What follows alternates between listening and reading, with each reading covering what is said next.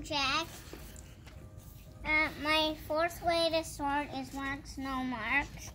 And this one has marks, this one doesn't have marks. And these are my graphs. The most was medium, the most was normal, the most was yellow green, the most was marks. What was the easiest way to sort?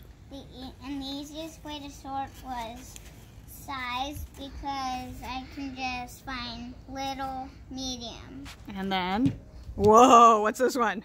big. Thank you. Bye.